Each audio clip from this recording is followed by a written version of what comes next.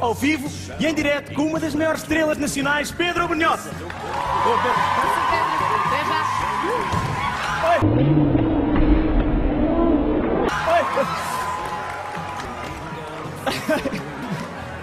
Está tudo bem, Pedro? Com isto já vendi mais. Ah, Tens ah, nenhum livro. Tudo bem.